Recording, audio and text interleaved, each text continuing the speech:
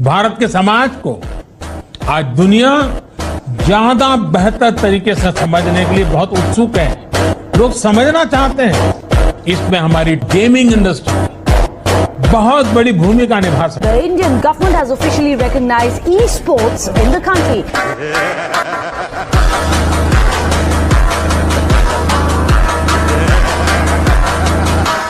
ओ भाई ये क्या है?